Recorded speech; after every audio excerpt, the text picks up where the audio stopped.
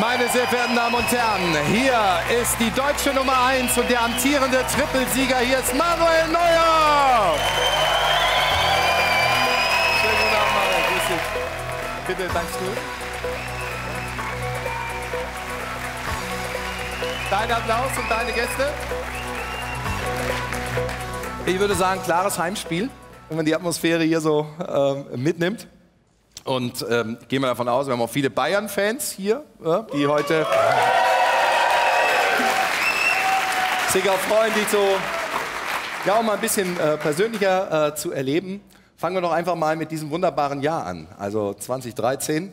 Ähm, irgendwas zwischen Bilderbuch und Märchen, würde ich sagen, bisher, dieses, dieses Kalenderjahr. Wenn du das nochmal so kurz Revue passieren lässt, was jetzt im Sommer alles passiert ist, mit dem Triple Fußballgeschichte geschrieben, ist das für dich so ein bisschen auch die Erfüllung von Kindheits-, von Jugendträumen dieses Jahr 2013?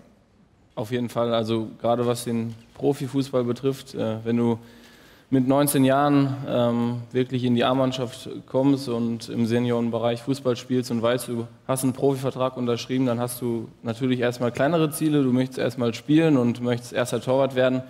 Und dann, wenn du Stammtorwart bist, möchtest du in die Nationalmannschaft und versuchen, dein Bestes zu geben. Aber ähm, seitdem klar war dann, dass ich nach Bayern wechsle, wollte ich natürlich viele Titel gewinnen und äh, dieses Jahr war einfach einmalig. Hm.